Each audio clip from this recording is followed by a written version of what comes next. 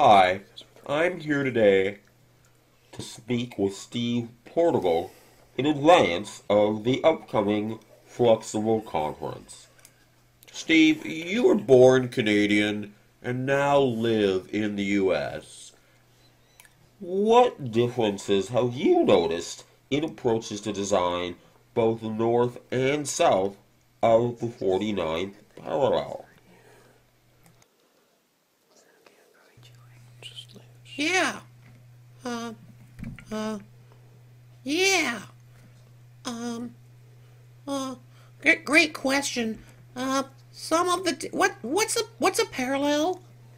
Um, yeah, what, what's a parallel?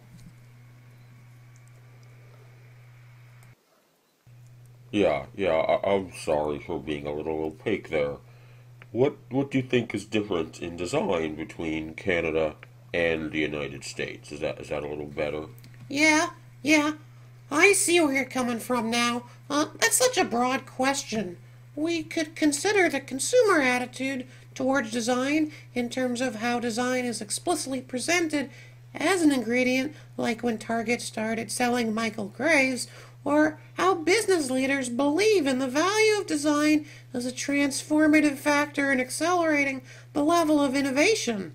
Is design a factor in prolonging BlackBerry as a viable institution longer than its strategic missteps would have led us to believe? And in a global economy where the means of production are so highly distributed, indeed where teams are distributed, can we, nay, should we, even attempt to answer this question?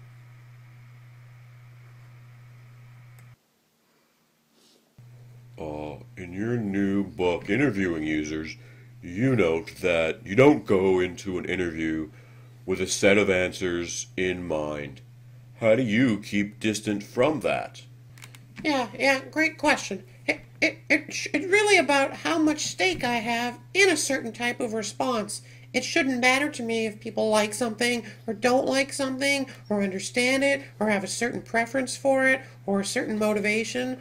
My goal is to get to the deepest level of insight to really, uh, to really make sense of something I don't understand.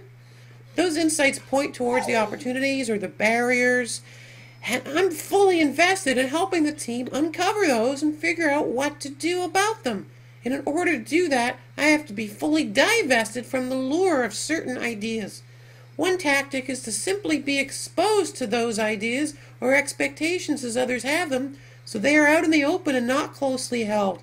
And of course, I think this feeds nicely into the issue of being present, of being in the moment with the person I'm interviewing, and, and setting everything else aside for the time being. And that notion of presence is one of the things we'll be exploring a lot in my workshop at Fluxible. What are you looking forward to most about being back in Canada? On one hand, I'm certainly thinking about getting into all the things that are bad for me, like chocolate bars, your minty Aeros, your caramels, and of course, beer that's new to me. But the humans are always going to be the best part. I always get rewarded for coming to Canada with a lot of positive attention and good feedback, and that's super motivating for me.